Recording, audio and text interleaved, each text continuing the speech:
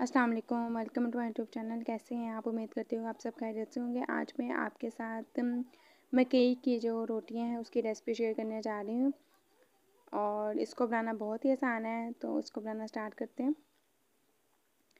ये मेरे पास किलो आटा है तो इसको हमने सिर्फ़ थोड़ा सा आटा जो है वो इसमें यूज़ करना है। थोड़े से आटे की रोटियाँ बनाएँगे, इसको अच्छे से छान लेंगे कि अगर कोई इसमें कोई ज़रा वगैरह है उसका मकई का तो वो निकल जाएगा।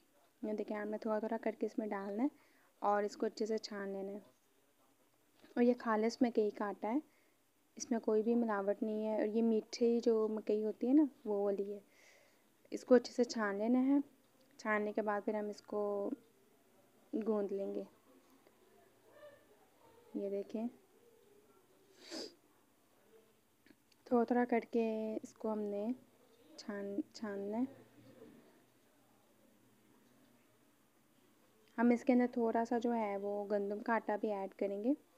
उसका जो है वो क्लिप ऐड करना मैं भूल गई हूँ। तो वैसे वो मैंने आपको बता दिया है। ये देखिए थोड़े से ज़रात वो निकल गए। तो इसमें थोड़ा सा जो था, गंदम का आटा जो था वो भी ऐड किया था। अब क्या करेंगे, इसको थोड़े से नीम गर्म पानी के साथ हम इसमें थोड़ा थोड़ा पानी ऐड करते जाएँगे और इसको गूंदते जाएँगे। ये देखें इस तरह से मेरी मामा जो है वो गूंद रही है और मैं वीडियो बना रही हूँ। सुबह सुबह का टाइम है।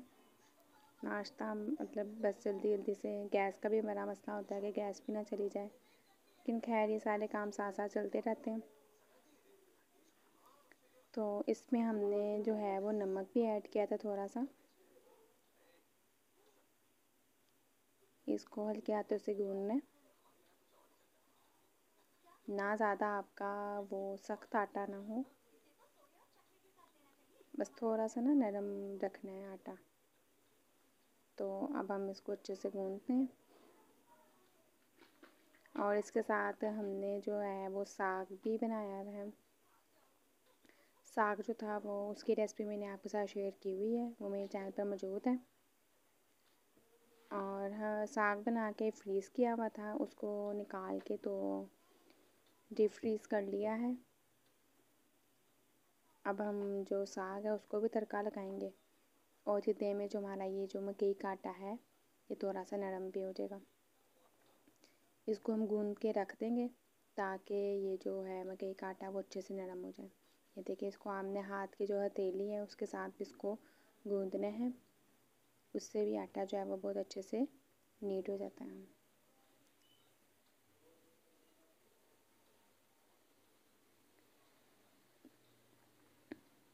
तो ये देखें, नरम आटा तकरीबन हो गया है।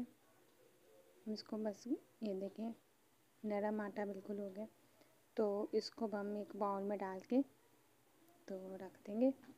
इसी देर में हम जो है वो साग को रेडी कर लेंगे। साग को हमने तो उससे फ्रिज से निकाल के थोड़ा सा पानी ऐड किया पानी ऐड करके तो इसके अंदर हमने इसको हल्के से हाथों से पहले हिलाया है।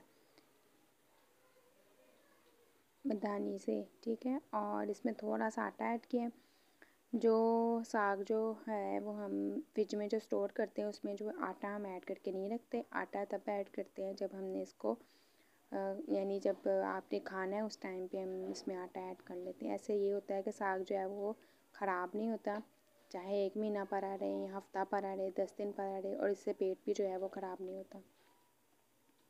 अगर आप आटा डाल के रख देंगे तो पेट ख़राब होने का उससे अच्छा होता है। तो ये देखिए अलहमदिल्ला रोटी जो है वो हमारी रेडी हो रही है। तवे पे पहले थोड़ा सा ऑयल जो है वो ऑयल का इस्तेमाल करनी है, घी का इस्तेमाल कर लें तो वो आपने इसको तो ये देखें ऑयल अच्छे से पहले डालने के बाद फिर इसको आहिस्ता से तवे के ऊपर डाल देना है। कि छिलके वगैरह जो है वो ना पड़े। तो इस मकई की रोटी में जो है वो ऑयल बहुत ज़्यादा यूज़ होता है। ऑयल या घी जो भी इस्तेमाल करते हैं वो बहुत ज़्यादा यूज़ होता है। इस पर आप जितना लगाते जाएँगे ये उतना ही कम है। सारा जो है वो रिज़र्व हो जाता है। तो ये बहुत ही मज़े की रो, रोटी बनी थी। इसको चाय के साथ भी रोटी बहुत मज़े की लगती है और साग के साथ भी लेकिन हमने साग के साथ इसको एंजॉय किया था। ये देखें।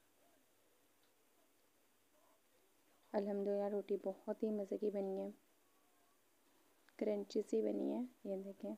मेरे दादों को जो है, ये मकई की जो रोटी है, वो बहुत ही अच्छे तरीके से बनानी आती थी। वो तो एक साइड पे बनाती मतलब गूंद लेती गूंदती रहती थी, वो दूसरी साइड पे मतलब उसको पकाती रहती थी, इस तरह से। बहुत ही अच्छे तरीके से मेरी दादों को ना ये मकई की रोटी बनानी आती है। आती थी। ये देखें, अल्हम्दुलिल्लाह तो ये हमारी जो मकई की रोटी वो रेडी हो गई। ये देखिए, दूसरी भी रेडी कर ली है। और ये देखें अल्हम्दुलिल्लाह, बहुत ही ज़्यादा मज़े की बनी है। ये देखें इसको हम देसी घी के साथ इंजॉय करेंगे। देसी घी और साग के साथ। ये देखें साग के ऊपर गरम गरम साग है और इसके ऊपर देसी घी रखा हुआ है और हम हम इसको खाएँगे इंजॉय करेंगे। आई होप्स आपको मेरी वीडियो पसंद आई होगी। मेरी वीडियो को लाइक शेयर एंड सब्सक्राइब कीजिएगा और अपना बहुत सारा ख्याल रखेगा मुझे नेक्स्ट वीडियो के लिए इजाज़त दें। अल्लाह हाफिज़।